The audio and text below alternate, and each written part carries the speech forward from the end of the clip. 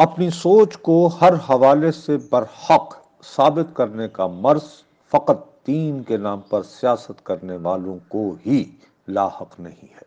नाम नहाद तरक्की पसंद या लिबरल होने के दावेदारों ने भी इस तनाजुर में नहायत महदूद दायरे खींच रखे हैं।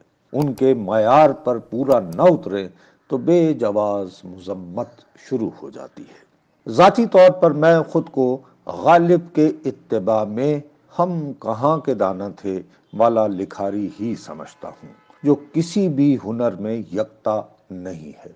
उर्दू मेरी मादरी जबान नहीं, तालब इलमी के दौरान उसके मुकाबले में बल्कि अंग्रेज़ी जबान सीखने की मुशक्क़त से गुजरता रहा। रिस्क कमाने के लिए मगर उर्दू में लिखने को मजबूर हुआ। एक दिन के लिए भी इस गुमाम में कभी मुबतला नहीं हुआ कि मेरी तहरीर पढ़ने वालों को किसी मौजू पर अपनी राय बनाने में मदद देती है। हफ़्ते के पाँच दिन सुबह उठते ही जो ख्याल जहन में आए, बरजस्ता बयान कर देता हूँ, यूँ मेरी दिहाड़ी लग जाती है। मंगल की सुबह जो कॉलम छपा था, वो इतवार की शाम पाकिस्तान और भारत के माबैन वर्ल्ड कप के जिम्न में खेले टी ट्वेंटी क्रिकेट मैच के बारे में था। तभी लरसे के बाद मैंने वो मैच तकरीबन आगाज़ से अख्ताम तक देखा। पाकिस्तान की जीत ने तमानियत बख्शी। मुझे क्रिकेट के रमूज की कख समझ नहीं।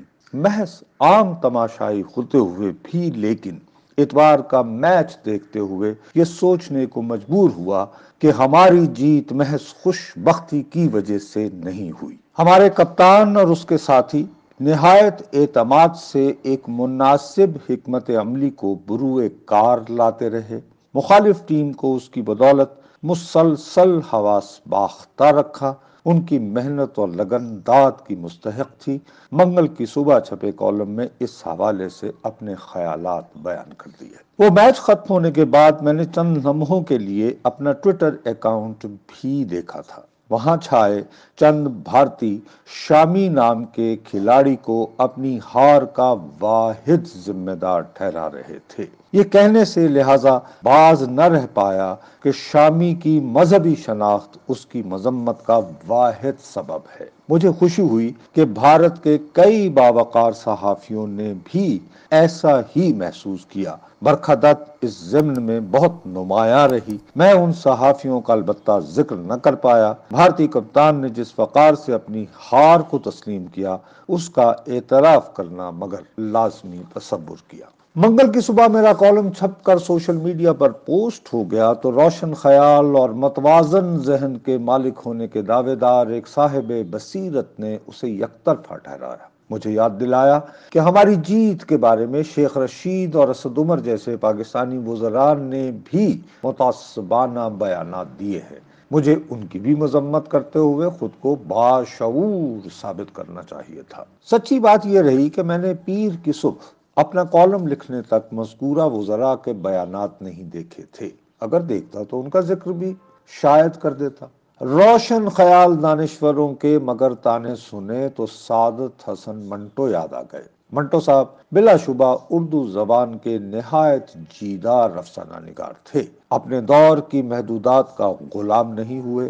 नाकाबले अशात तस्वुर होते, कई मौजूद को इंतहाई ज़रूरत बेबाकी से बयान करते रहे। उसकी बदौलत फोश निगारी की तोहमत हासिल की, अदालतों में पेशियाँ बकते रहे। मंटो साहब के ज़माने में हमारे अदब और मीडिया पर नाम नहाद तरक्की पसंदों का तकरीबन इजारा था। क़याम पाकिस्तान के दौरान वहशियाना हिंदू मुस्लिम फसादात के बेशुमार दर्दनाक पहलुओं को लेकिन फ़कत मंटो ही ने नहायत दर्दमंदी से अपने अछूते अंदाज में बयान किया।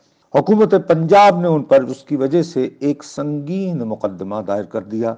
हमारे रोशन ख्याल तरक्की पसंद मगर उनकी हमायत में खड़े होने को तैयार नहीं हुए। अपनी सफ़ाई के लिए मंटो ने फैज अहमद फैज की गवाही भी पेश करना चाहिए थी। वो अदालत में लेकिन उनका भरपूर अंदाज में दिफा न कर पाए। मंटो की हमायत में सबसे ताकतवर गवाही बल्कि आबिद अली, आबिद साहब की जानब से आई। वो कदामत परस्त और रजत पसंद शुमार होते थे।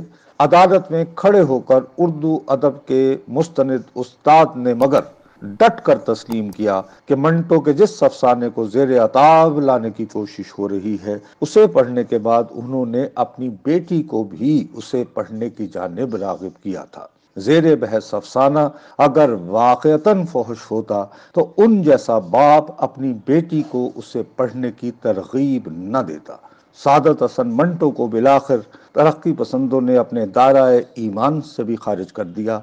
मंटो मगर टस से मस न हुए, अपनी रविश पर डटे रहे। अमरीका और सोवियत यूनियन के माबैन दरीसना, सर्द जंग शदीद तर होना शुरू हो चुकी थी। सादत हसन मंटो तरक्की पसंदों के बनाए दायरे से खारिज हुए तो अमरीकी प्रोपेगंडा के लिए मामूर अहलकारों ने उनसे राबता किया। मंटो मरहूम को एक अफसाना लिखने के उन दिनों पचास से ज़्यादा रुपए नहीं मिलते थे। उस रकम के हसूल के लिए भी उन्हें अशायती इदारों के कई चक्कर लगाना पड़ते थे। अमरीकी पैम्बरों ने उन्हें मुनासिब रकम एडवांस के तौर पर पेश की। मंटो ने ढिटाई से उसे वसूल किया, मगर अंकल साम के नाम खतूत लिखना शुरू हो गए। आज भी उन खतूत को पढ़े तो हैरानी होती है। अमेरिका का आजाना साथ देने की वजह से हमारे मुआशरे में जो बहरान संगीन से संगीन तर हो रहा है, उसे मंटो के तख्लीकी जहन ने आज से कई दहाइयाँ कबल ही भाप लिया था। तरक्की पसंदों की अक्सरियत अगरचे अमेरिका का जो यार है, वाले नारे ही लगाती रही। पाकिस्तान की अदबी तारीख को जेर बहस लाना इस कालम का मकसद नहीं। फ़कत इसरार करना है कि रियासत पाकिस्तान की जानब से लागू कवानीन के तहत चलाए अखबार के लिए कुछ लिखते हुए आपको बहुत एहतियात से काम लेना होता है। बरजस्तगी को बरकरार रखते हुए चंद ख्यालात इस तनाजुर में बयान हो सकें तो उन्हें फतवेबाजी का निशाना नहीं, बल्कि खुले दिल से सराहने में कोई हर्ज नहीं। खुद को अकल कुल और हर एतबार से मतवाजन और रोशन जहन के हामिल तस्वुर करने वाले अफराद, मगर ऐसी कुशादा दिली दिखा नहीं सकते। उनका रवैया बुल्ले शाह और मंटो जैसी जुरत का तकाजा करता है, जिससे मैं कतन महरूम